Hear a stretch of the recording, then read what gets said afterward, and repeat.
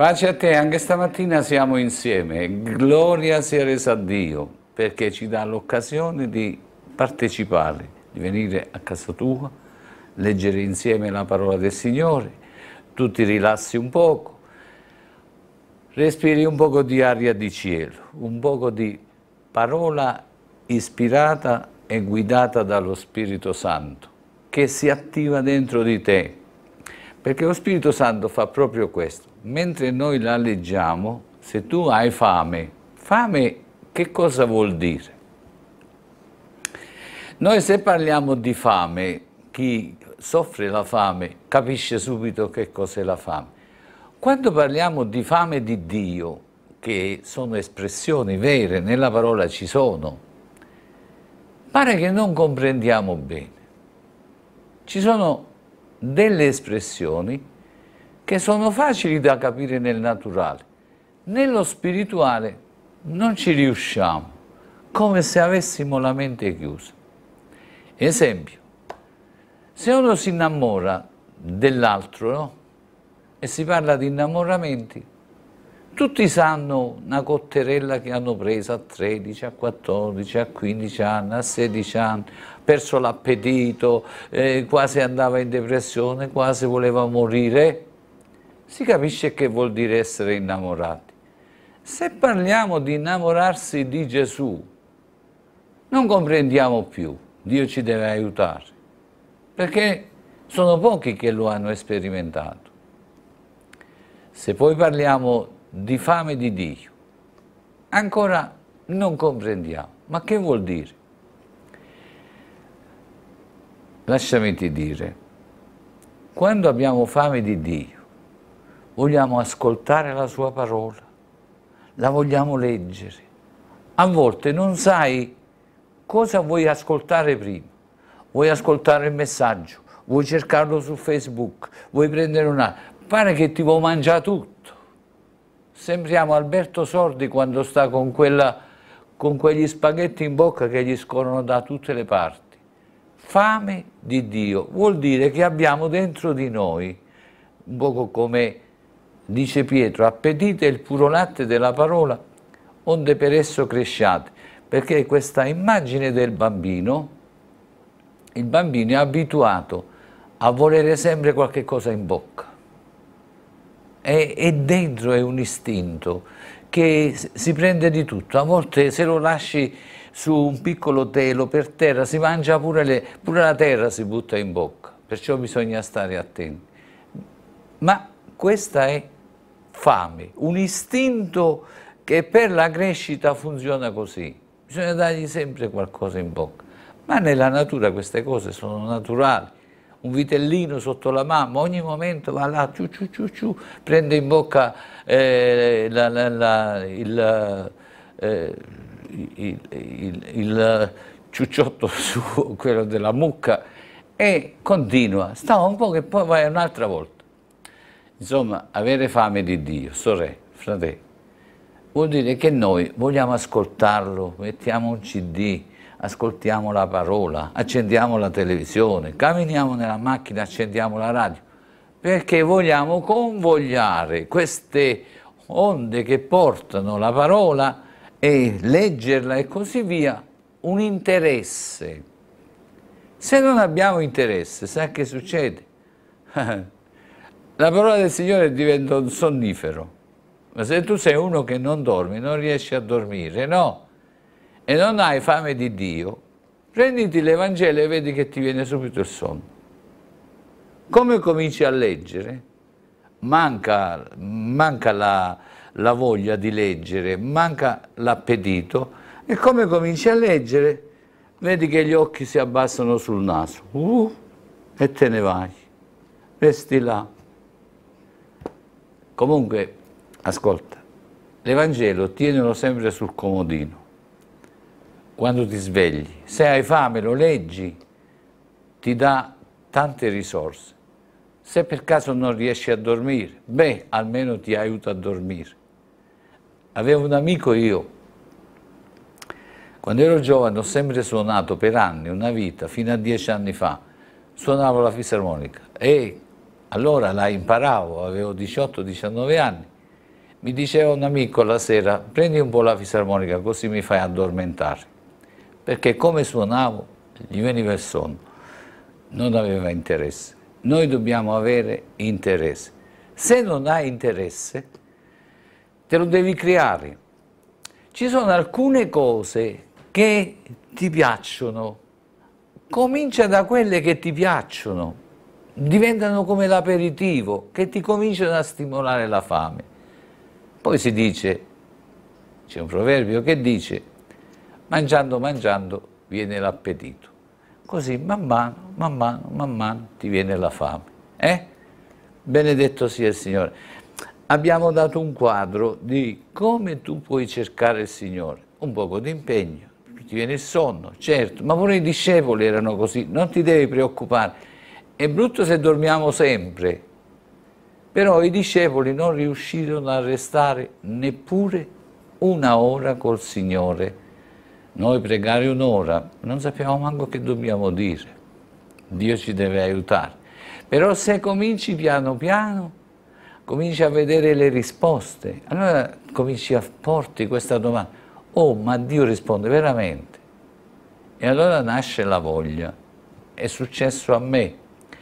Io presento parecchie cose al Signore e poi arrivo che non mi posso fermare perché si è creata una convinzione dentro di me che Dio risponde veramente. Allora dico, ma io è inutile che perdo tempo, vale la pena di presentarle queste cose al Signore e poi Lui farà una cosa sì, una cosa no, una cosa sì, una cosa no, ma alla fine se gliene chiedo di più in percentuale arrivano parecchie risposte. Ti ricordi che ti avevo detto quando preghiamo scriviti le cose, così noi preghiamo, dopo ti faccio vedere quante ne devi cancellare quando li presenti uno per uno al Signore. Bene, adesso ci mettiamo a leggere la parola del Signore. Stamattina c'è un messaggio serio, un messaggio che Dio veramente vuole addirizzare gli orecchi. Gli orecchi, prima di addirizzarsi, deve mettere in funzione la mente, perché se no le orecchie non si addirizzano, tutto viene dalla mente. Il nostro cuore, la nostra mente deve rivolgersi al Signore e dobbiamo guardare insieme. Quando il Signore ci parla, ci dà ogni tanto una scossa, come faccio io con i ragazzi la mattina. Prima, prima, non appena arrivo vicino ai letti dico da, but, buttati giù, va, vai al gabinetto, muoviti, la prima scossa. Poi piano piano si svegliano, piano piano ci svegliamo. Il Signore ci vuole dare una scossa stamattina, in modo che ci svegliamo dalla, dal torpore della nostra mente, che stiamo come degli abbandonati e incominciamo a alzare lo sguardo verso di Lui per dire Signore, io ho bisogno di te pure oggi, pure oggi, pure oggi. Andiamo avanti insieme, se no non ti faccio cucinare stamattina. Dio demolisce per ricostruire, così è il messaggio che mi ha dato. Ma che vuol dire questo demolire per ricostruire? Normalmente tutti i grandi impresari, tutti quelli che fanno grossi investimenti, Dio, Dio, parla sempre alla grande, quelli che fanno grossi investimenti, tu vedi nelle città a volte ci sono delle belle case, tutto a un tratto vedi che cominciano a mettere delle transenne e sbucano e buttano giù tutto. Wow, certe volte dici, mamma, sta casa è tanto bella, la buttano giù. Lì c'è un grande progetto se non fanno così non possono fare quello che devono fare. Sti grattacieli di 100 piani, 200 piani, 150 piani, un chilometro alti e così via. Sai cosa c'era sotto in molte parti? Perché si trovano quasi sempre nel centro di una città. C'erano delle case. Per poter costruire quello hanno dovuto demolire tutto quello che c'era. Così vuole fare Dio nella nostra vita, demolire tutte quelle cose che non servono a nulla, per ricostruire una vita nuova basata sulla roccia di Cristo con lo stesso materiale, farci crescere spiritualmente e poi farci andare nel cielo. Una preparazione, un cambiamento radicale, alla radice voglio dire. Leggiamo insieme in eh, Geremia 7,12 perché queste cose ci aiutano a comprendere. Andate dunque al mio luogo che era Silo, dove avevo da prima stanziato il mio nome, e guardate come l'ho trattato, a motivo della malvagità del mio popolo di Israele. Dio parla per distruggere, cioè andate a vedere. È come noi dicessimo andate a Pompei, andate a vedere com'era e com'è Oggi non ci può abitare nessuno, ma una volta era. Dio ci deve aiutare. Oppure andate a Pestum, com'era, com'è. Dio porta questi paragoni per svegliare la coscienza nostra, perché noi molte volte ci accomodiamo, ci appiattiamo, diventiamo piatti non ci sono colline e non ci sono manco discese, non ci sono né valli né monti. Stiamo lì come una zattera sulla vita, nella vita. Guardiamo lo stesso profeta Geremia quando fu chiamato nel capitolo 1, verso 10. Così abbiamo un quadro chiaro e poi dobbiamo tirare le somme. Vedi, io ti costituisco oggi sulle nazioni e sopra i regni per svellere, cioè prendere, dice la parola del Signore che prendevano le spighe di grano, venivano svellate e si mangiavano il grano e era, la spiga non esisteva più poi perché ne tiravano fuori il grano. Voglia lo Spirito Santo stamattina svellere i nostri cuori macinarlo e farne venire fuori il buono e tutto il resto lo facciamo soffiare fuori, la pula la buttiamo via. Per svellere, per demolire, per abbattere, per distruggere, per edificare e per piantare. Un profeta che Dio gli dà questo messaggio è un, è un messaggio impegnativo perché prima deve demolire tutto, poi deve ricostruire, poi deve edificare e deve piantare Dio ci deve aiutare. Per ricostruire, cioè Silo, c'è, dove abbiamo letto prima, lo vogliamo rileggere, 7.12, Geremia 7.12, Andate dunque al mio luogo che era Silo, dove avevo da prima stanziato il mio nome, e guardate come l'ho trattato a motivo della malvagità del mio popolo. Porta un punto di riferimento che loro tutti conoscono. Andiamo a vedere anche noi dove si trova che fu stabilito Silo, in Giosuè capitolo 18 verso 1.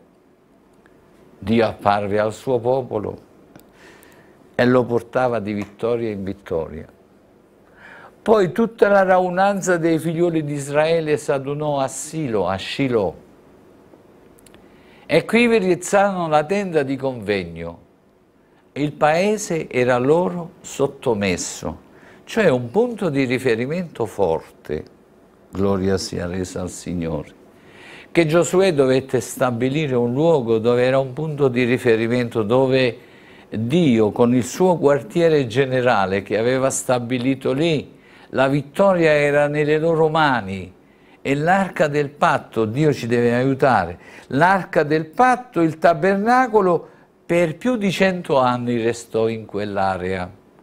Ed era un punto di riferimento che quando andavano venivano in mente tutte le vittorie, tutte le sconfitte che avevano portato verso gli altri popoli e loro si erano potenziati perché Dio era in mezzo a loro, l'arca del patto era lì e loro quando andiamo a Silo, uh, apriti cielo, era una grande festa. Ma man mano il popolo non camminava più con Dio.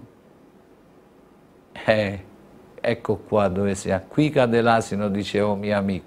Ogni volta che arrivava a una conclusione, che le cose non funzionavano bene, diceva, e qui cade l'asino, è come vedere l'asino che cadeva e non camminava più. Poi tutta la raunanza dei figlioli di Israele si adunò a Shiloh e qui rizzarono la tenda di convegno, il paese era loro sottomesso. L'area del patto, il tabernacolo, per più di cento anni. Ma guardiamo in 1 Samuele 4.3.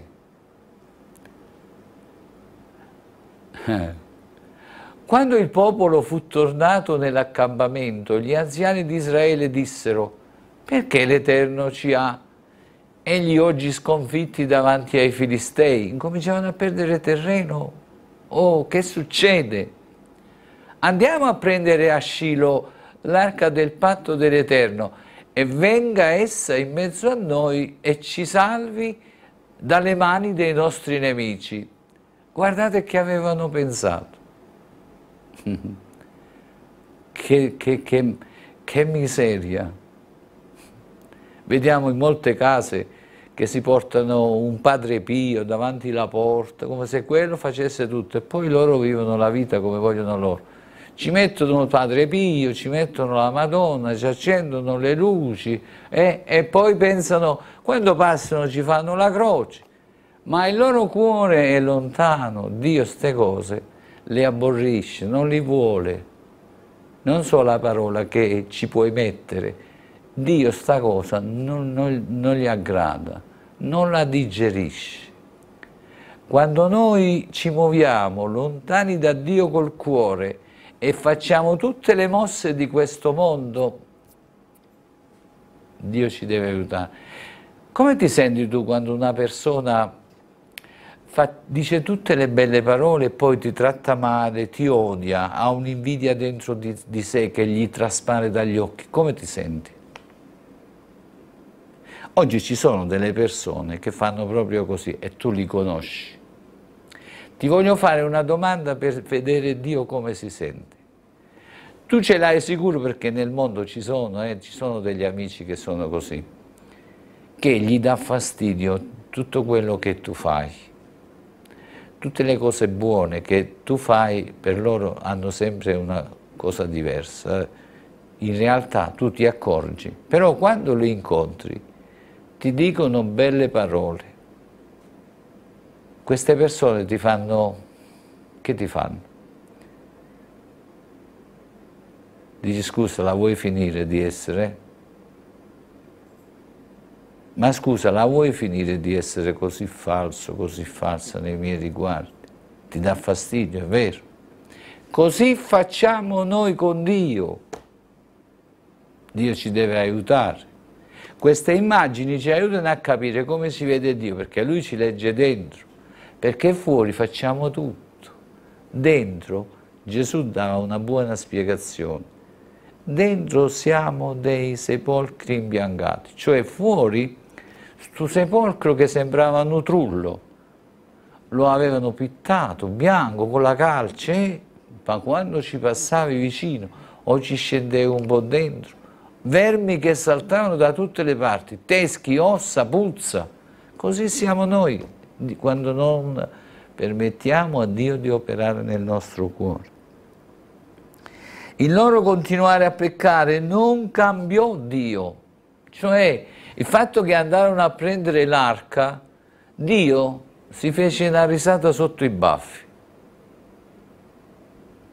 Dici guardano po' che ti combinano questo pensano che possono vivere la loro vita come sono, che poi portano l'arca lì e io perché c'è l'arca, un pezzo di legno, di acacia, io mi devo preoccupare che si rompe come se io non avessi la possibilità di avere un altro pezzo di acacia per farlo.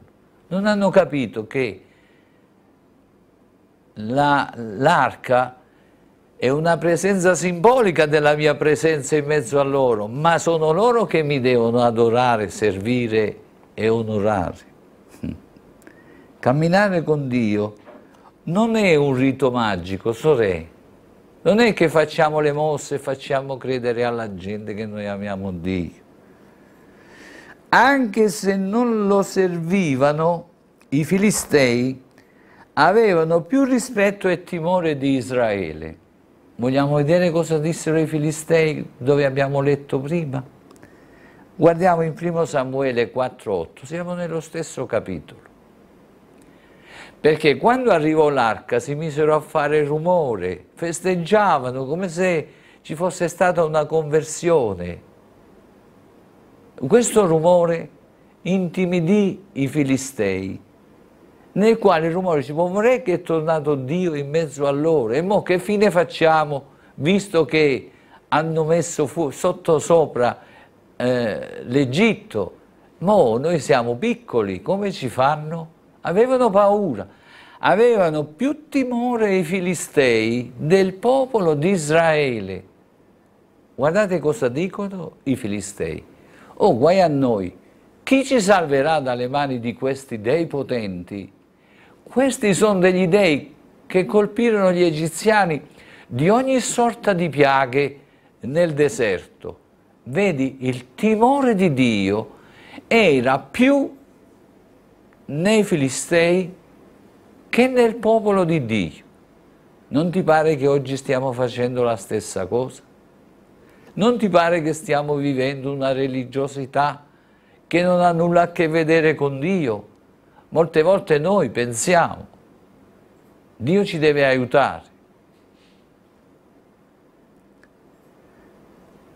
Israele fu sconfitto perché la presenza dell'arca, la presenza del crocifisso a casa tua, la presenza di una Madonna, di tutte queste funzioni religiose che non ti fanno andare al Signore con tutto il cuore, non cambia quello che deve fare Dio, perché Lui tutte queste cose sono barzellette, sono mosse che non servono a nulla, ma non perché non dobbiamo cercare Dio, perché noi abbiamo dentro di noi la fame di Dio, ma dell'Iddio vivente, queste cose morte non ti fanno niente.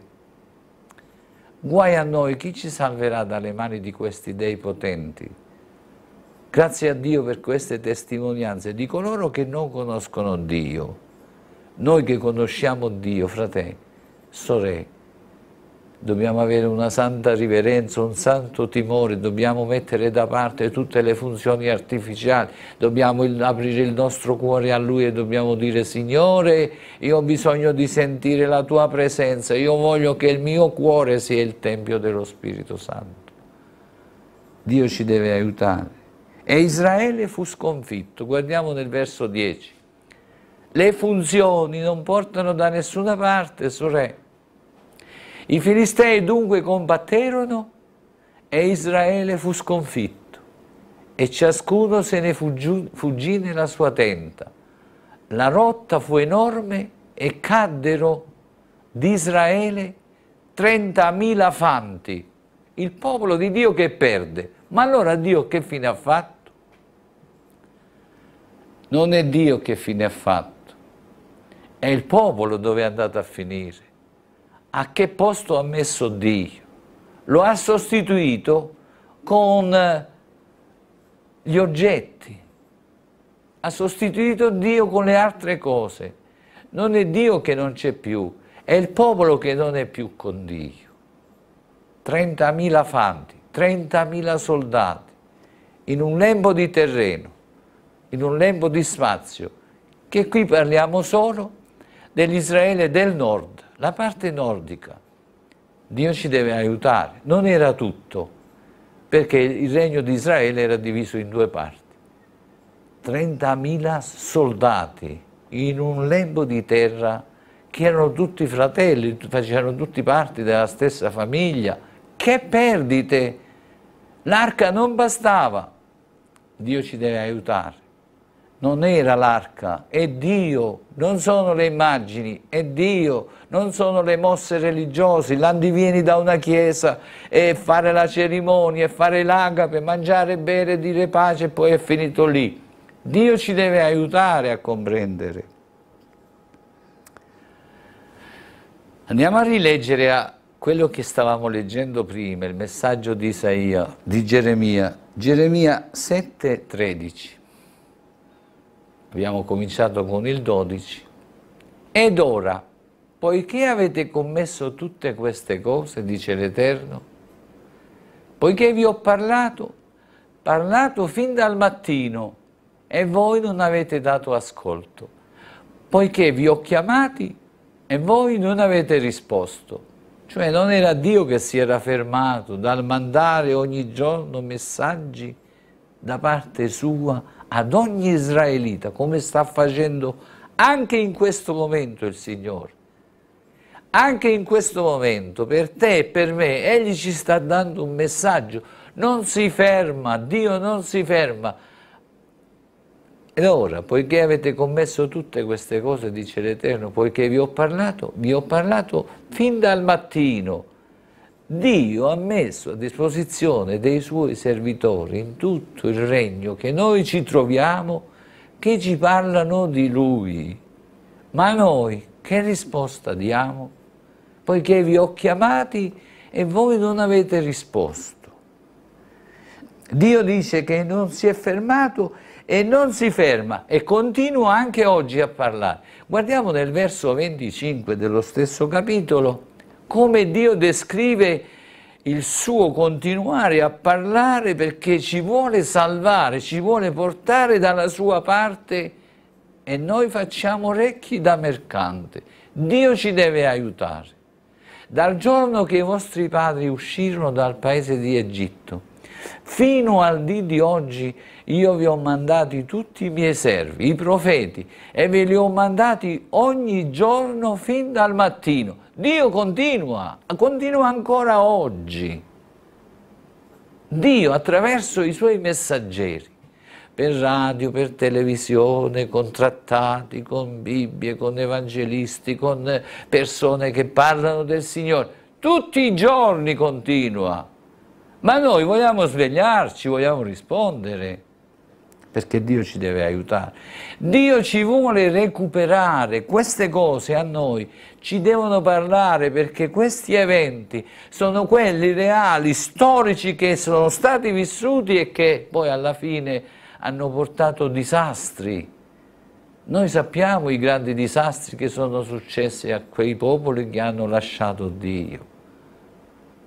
È vero che il popolo di Israele non ha accettato il figlio di Dio, ma è vero che attraverso i secoli è stato così disseminato nel mondo senza una patria fino a poco tempo fa, perché si stanno adempiendo altri tipi di profezie, e non solo disseminato in tutto il mondo, ma come un qualcosa che li andava a pescare dove erano per distruggerli. Un solo uomo ne distrusse 6 milioni in Germania. Ma Dio continua a parlare e continua a parlare, oggi parla a noi. Oggi Dio sta parlando a noi perché è arrivato il mio turno e il tuo turno personale. Non generalizziamo come se fosse un messaggio astratto che serve agli altri e non serve a me. Questo serve a me e a te mentre lo leggiamo per rettificare il nostro cammino e il nostro rapporto con Dio. Dio ci deve aiutare. Anche ora, obbedire a Dio non sono riti abitudinari, tutto quello che diventa un'abitudine di riti non serve a niente. Egli vuole la partecipazione del cuore. Se noi serviamo il Signore nel modo sbagliato, Dio dice io faccio come ho fatto a Silo, Così diceva a quelli di questo tempo, perché loro sapevano a Silo che cosa era successo. A Silo che cosa era successo? Era restato desolato, senza Dio, senza speranza, diroccata, con 30.000 soldati persi, con ciò che era tutto a festa diventò una grande tragedia un ricordo che ancora oggi se ne parla perché Dio non tenne più conto di che cos'era Silo, perché Dio vuole, non ha bisogno di un posto, Dio ha bisogno di un cuore. Dio ci deve aiutare. Egli vuole la partecipazione del cuore. Se noi serviamo il Signore nel modo sbagliato, Dio dice io faccio come ho fatto a Silo, lo dice al suo popolo, noi siamo il suo popolo, noi siamo i cristiani, noi siamo i credenti, noi siamo quelli che facciamo parte di quelli chiamati dal Signore. E Dio ci dice se tu fai solo funzioni, cara sorella, caro fratello, caro Cataldo, se tu fai solo funzioni, fai il messaggino, vieni qua, parli, fai una predicuccia e poi te ne vai e vivi una vita disastrata, vivi una vita a modo tuo e non tieni conto che io sono il tuo Dio, smettila pure di parlare. Dio già me l'avrebbe tolto questo, questa possibilità di parlare con te oggi. Bisogna stare con santa riverenza davanti al Signore. E se Dio ci dà qualcosa noi ne dobbiamo tener conto, lo dobbiamo ringraziare ed è un onore poterlo servire nel miglior modo possibile perché oltre al benessere che Egli mette nel nostro cuore, la sua partecipazione, la sua presenza, ma è una grande benedizione. E c'è ancora di più, c'è una grande ricompensa che il Signore sta preparando nel cielo per ognuno che lo serve. Ogni piccola cosa che tu fai, ci sono degli angeli che scrivono nel tuo libro secondo il tuo comportamento ogni giorno, c'è un libro per te. Dio ci deve aiutare. Il diavolo è riuscito ad invogliare i suoi a morire per degli scopi stupidi. Il diavolo ha messo nel, nella mente dei giapponesi di dire che se loro frantumavano la loro vita contro, un aereo, contro una nave, contro qualcosa, per il bene della nazione ricevevano un grande premio, che è una grande bugia diabolica, faceva solo per distruggerli, ma pure lo facevano.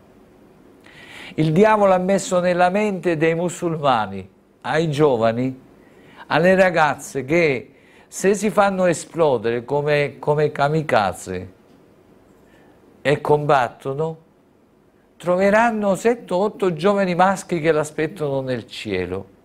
Se un giovane si fa esplodere con, con una cintura e, e dice eh, Allah, viva Allah, troverà 6-7 ragazze che lo aspettano nel cielo per premiarlo perché ha dato la vita per morire. Tutte cose che sono diaboliche e sataniche. E e si ci impegnano.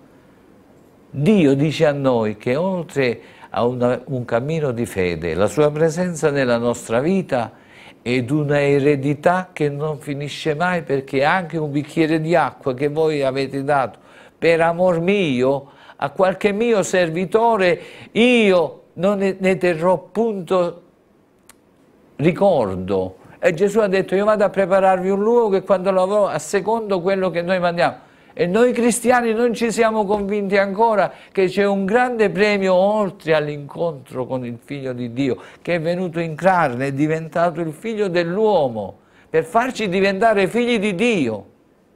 Dio ci deve aiutare, ci dobbiamo convertire con urgenza, basta con i riti. I riti non gli servono a Dio, guarda la, la fine dei riti dove si va a finire. Io faccio come ho fatto a Silo. La tua casa senza la presenza dello Spirito Santo, con i soli riti, questo serve a te e a me, la tua casa e la mia casa, senza la presenza di Dio, senza la presenza dello Spirito Santo, è una casa desolata. Il tuo cuore senza la presenza dello Spirito Santo è un cuore senza speranza tutti i riti che tu vuoi fare, ma non ti danno un alito, un soffio di speranza. Niente, Dio ci deve aiutare. Un cuore senza speranza. Ci sono solo sconfitte e morte. Infatti quello stiamo vedendo. Leggiamolo insieme. In 1 Samuele capitolo 11. L'arca di Dio fu presa i due figlioli di Eli, Ofni e Fineas, morirono. Pure i guardiani dell'arca vennero meno. Guardiamo nel verso 10. È un'immagine che ci aiuta a comprendere che i riti non fanno niente, le funzioni religiose non portano da nessuna parte. Anche l'arca del patto del Signore, senza l'applicazione pratica in quello che Dio chiede, è un fallimento E noi ancora persistiamo come essere nell'idolatria e pensiamo che mettere qualche aggeggio a qualche parte, se non ci rendiamo conto che Dio vuole un rapporto personale. I Filistei dunque combatterono e Israele fu sconfitto e ciascuno se ne fuggì nella sua tenda. La rotta fu enorme e caddero di Israele 30.000 fanti. Verso 11 vediamo pure i guardiani, diremmo oggi pure i sacrestani. L'arca di Dio fu presa e i due figlioli di Eli, Ofni e Fineas, morirono. Dio non tenne conto neppure dei figli del sommo sacerdote che gli aveva messo, perché non vivevano la loro vita. Infatti la testimonianza dei figli di Eli ci risulta che cosa? Che andarono allo sbaraglio perché non amministravano nella casa del Signore secondo Dio gli faceva piacere. Tanto che il vecchio Eli quando Samuele gli disse che cosa aveva detto il Signore, disse, beh faccia Dio quello che vuole. Ormai era ridotto pure lui, anziano sacerdote che conosceva la voce di Dio, ma non poteva fare niente per i figli più perché erano degli scapestrati. Dio ci deve aiutare. Dio ci deve aiutare veramente. Leggiamo, continuiamo a leggere in Geremia 7,14 perché abbiamo cominciato dal 12, arriviamo fino al 15. Poi il 16 non ci serve perché lì ha detto Dio a Geremia non pregare manco più per questi. Io tratterò questa casa sulla quale è invocato il mio nome e nella quale riponete la vostra fiducia. Nella casa riponevano la fiducia. sorelle, fratelli, la nostra fiducia non deve essere nella Chiesa, la nostra fiducia non deve essere nelle cose inanimate, la nostra fiducia non deve essere nei riti religiosi, la nostra fiducia deve essere in Dio che dobbiamo avere comunione con Lui. E il luogo che ho dato a voi, ai vostri padri, come ho trattato Silo, era una volta, ma non è più. Sai che la tua Chiesa può essere proprio così? Forse vent'anni fa c'era il risveglio, la tua casa è stata risvegliata dallo Spirito Santo, hai fatto delle esperienze gloriose con il Signore, ma il Signore ti chiede oggi qual è il tuo rapporto con Dio?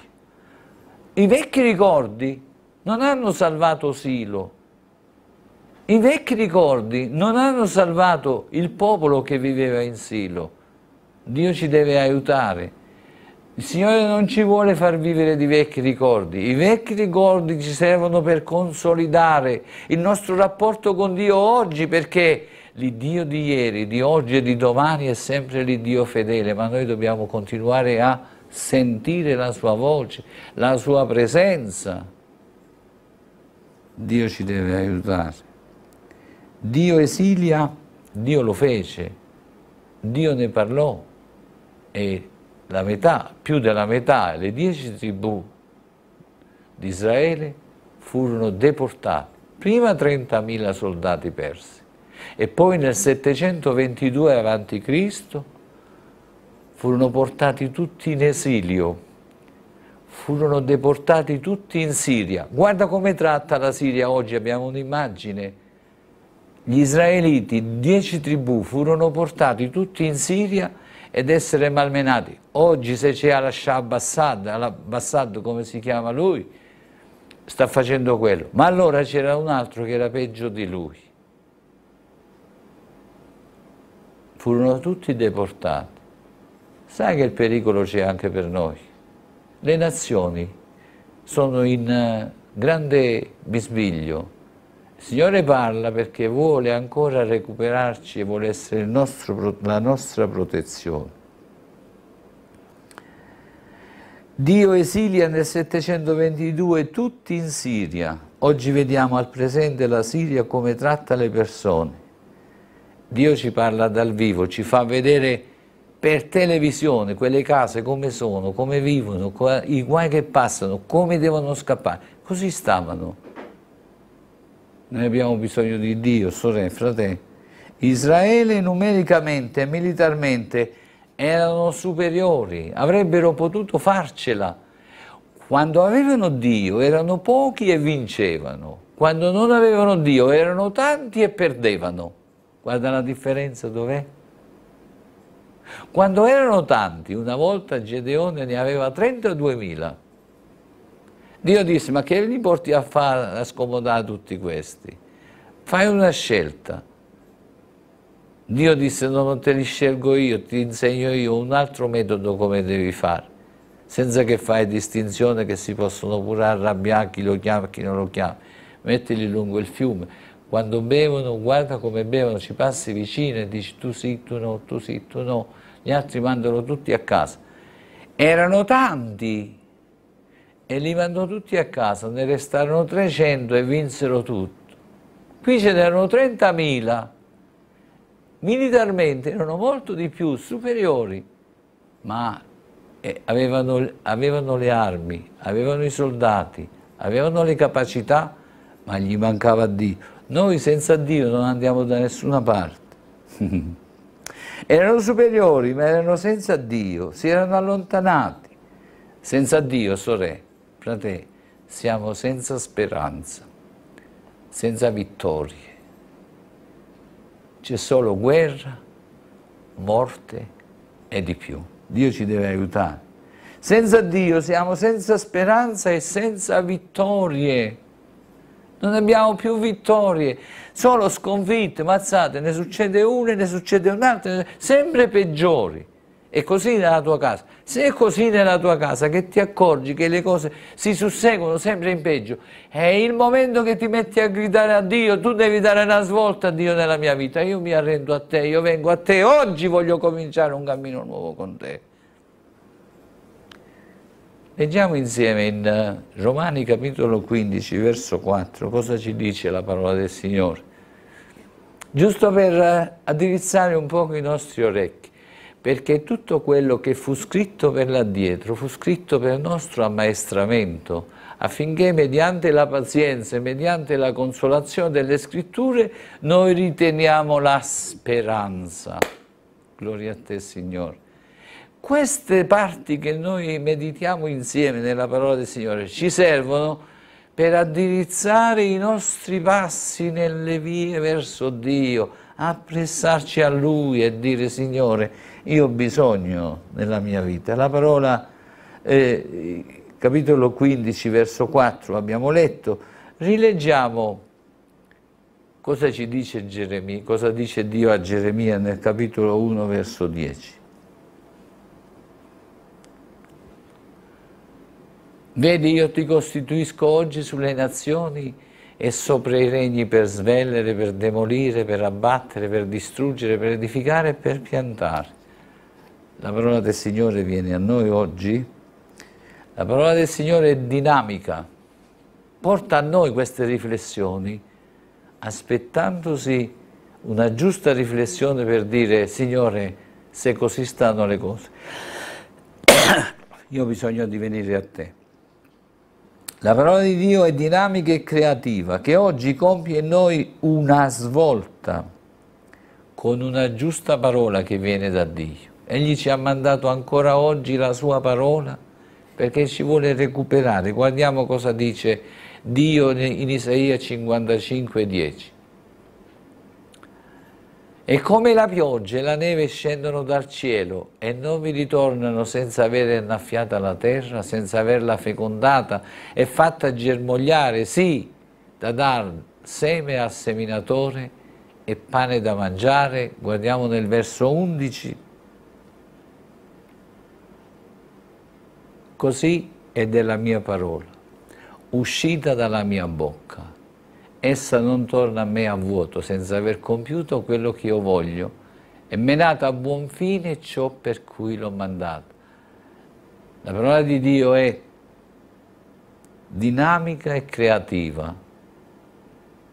Dio si aspetta una risposta da me e da te perché ci ha chiarito in un modo semplice che le cose artificiali, il nostro modo di camminare, deve avere una svolta, dobbiamo cambiare, ci dobbiamo avvicinare al Signore, Dobbiamo lasciare tutta questa confusione e addirizzare i nostri passi nella giusta direzione. La parola di Dio produrrà allo stesso modo adempiendo il disegno spirituale di Dio nella nostra vita e mette in noi la forza necessaria per dire adesso, non un'altra volta, sorelle, ora. Quanti ce ne sono che ora ci sono e fra poco non ci sono più? La stessa sorte può toccare a me e a te. Quanti amici c'erano e non ci sono più? Quanti quando vai nel cimitero li guardi e non ci sono più? Quando arrivi là, la persona non l'hai vista da parecchio tempo, fai per vedere c'è la foto lì, che non c'è più. Noi non dobbiamo rimandare neppure da un secondo, ora dobbiamo andare al Signore con tutto il cuore, perché quando Lui ci parla è il momento che è vicino per, far, per dare una svolta al nostro cuore, per, si aspetta che noi non continuiamo a dire ah che bel messaggio oggi, meno male il Signore ha parlato. Quando parla vuole che noi rispondiamo. Dio ci chiarisce le cose, ma vuole che noi prendiamo una decisione. Adesso è l'ora della decisione di andare al Signore. C'è un canto che dice cambia il cuore mio. Dobbiamo cambiare, lo vogliamo cantare insieme. Glielo diciamo in canto, ma diciamoglielo con tutto il cuore mette in noi la forza necessaria per dire cambia il cuore mio, fammi cambiare atteggiamento verso di te, mi converto a te oggi con tutto il mio cuore. Vogliamo cantare quel canto e vogliamo dire insieme, Signore, cambia il cuore mio, fa che io cambi atteggiamento verso di te.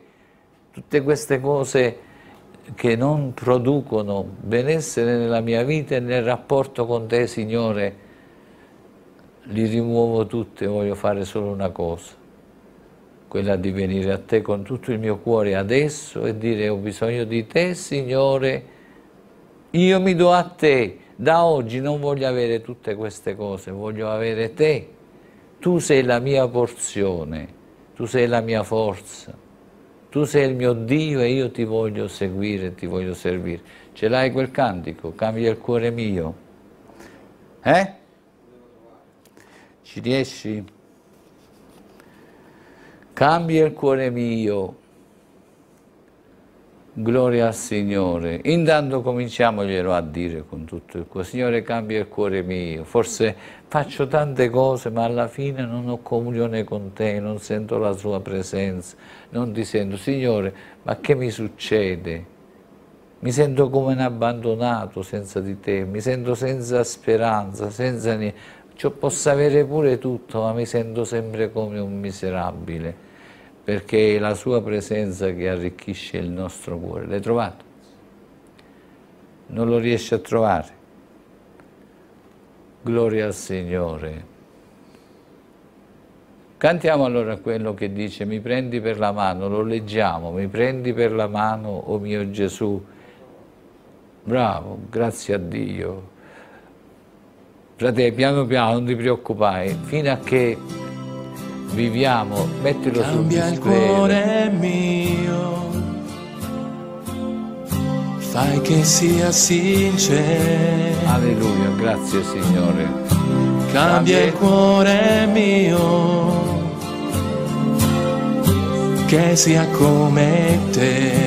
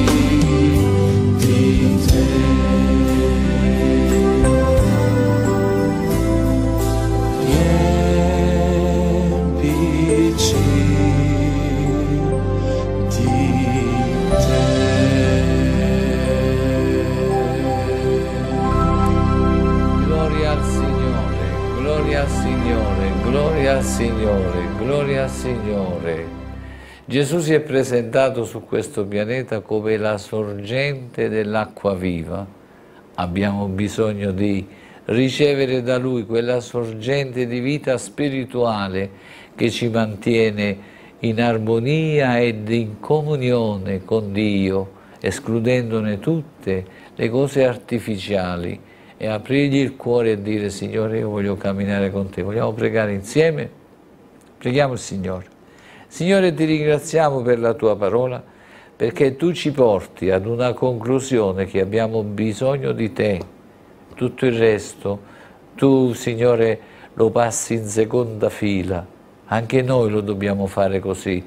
La prima cosa è metterti in prima fila nella nostra vita, prenderti come il numero uno e avere comunione con te. Metti fame nel nostro cuore, il desiderio di invocare il tuo nome, perché tu ci hai semplificato la strada dicendoci che chiunque invoca il nome del Signore fa che possiamo mettere da parte tutte le altre cose ed invocare te e dire Signore ho bisogno di te, voglio un incontro con te, voglio cominciare un cammino con te, mi pento di essere stato fino adesso, so di avere sbagliato, ma ora, Signore, ti ricevo nel mio cuore, vieni, perdona i miei peccati, lavami col tuo sangue ed aiutami ad iniziare un cammino con te. Ora, oggi, mentre sono davanti a te, prendo questa decisione per camminare con te, Signore. Amen. Amen. Dio ti benedica, ci vediamo stasera per la preghiera alle sette e mezza, alle 19.30 e insieme continuiamo a cercare il Signore, condividiamo una porzione della parola del Signore e poi preghiamo insieme e continuiamo a crescere nelle vie del Signore, continuiamo a camminare e a crescere attraverso la conoscenza della parola del Signore. Dio ti benedica, ci vediamo questa sera alle 19.30. Pace a te, buona giornata.